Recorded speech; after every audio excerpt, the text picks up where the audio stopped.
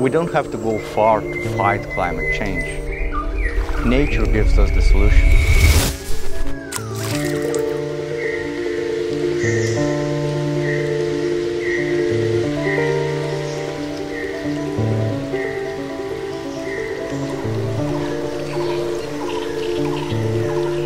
Hoje a gente está aqui é, no cordão uh, que a gente chama do cinturão de desmatamento na Amazônia. Então a fronteira.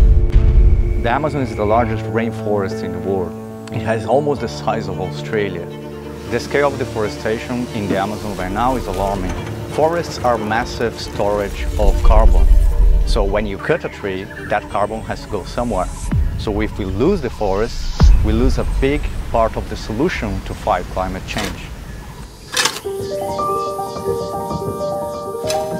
A principal atividade no início foi a extração de madeira, pau-brasil, e de lá para cá vem num processo crescente de desmatamento, uh, tanto para extração de madeira quanto para uh, o desflorestamento para implantação de pastagens e monocultivos. Increased population has led us to increase the demand for food. So we increased the production area.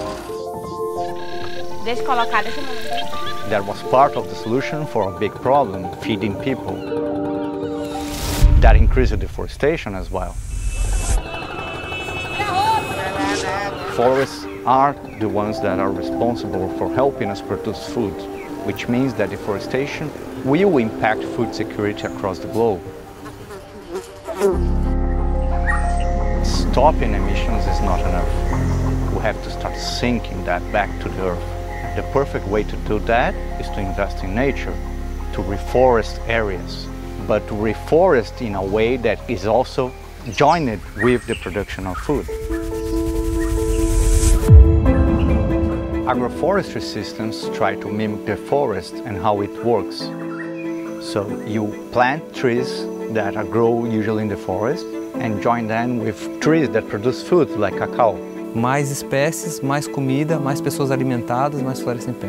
A single hectare of an agroforestry system can sequester about 15 to 20 tons of CO2.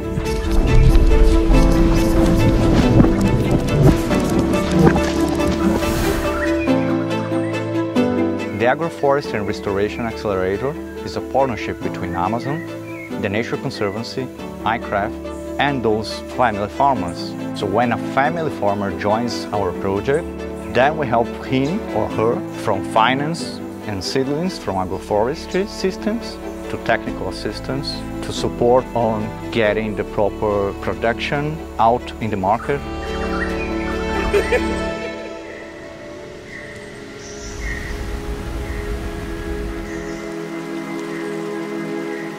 Our vision for the future of the forest is that we keep the current forest area and that we restore part of what we took from it with systems that mimic the functions of the forest while providing food to all of us. We need to go much beyond what we are doing right now if we want to save the planet and improve lives of people and nature. Deixar um cenário, uma condição melhor do que aquela que a gente encontrou quando a gente chegou. isso que me move.